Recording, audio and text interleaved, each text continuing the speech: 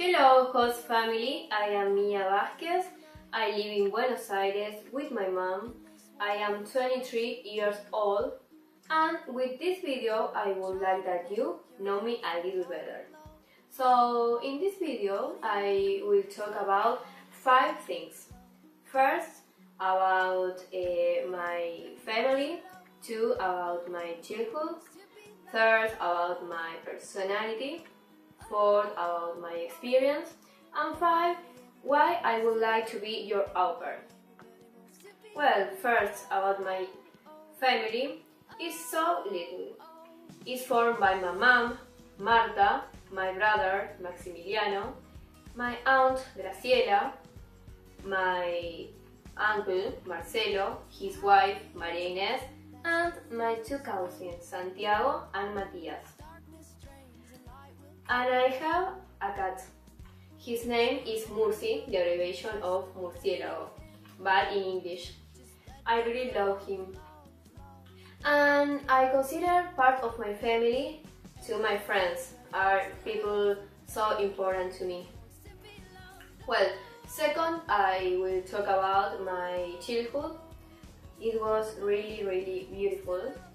Mm, when I was a child, I used to do a lot of activities such as piano classes, uh, artistic gymnastics, uh, jazz dance, classical dance, and I was a Girl Scout. Well, I now I will talk about my personality. I am active person, very energetic person. Um, I would like to do a lot of activities. Um, I really like uh, reading, listen uh, music. Um, I like to spending time with friends, with my family. I like uh, going uh, to cinema, to eat, and my hobby is to cook. I really enjoy that, and I like to cook for people that I love. And well, about my experience. When I finished my secondary school, I start to care of Matias, my cousin, and my responsibility was pick up to him to activities like uh, football, uh, to his friend's house. Mm, I have to spend time with him, play together, to cook him, um, to dress. It was a really great experience because it was uh, my first experience. Um, then another experience with child was with Constanza, a girl of five years old. My responsibilities was pick up to her uh, for their school, um, to cook her, dress her, um, spend time together.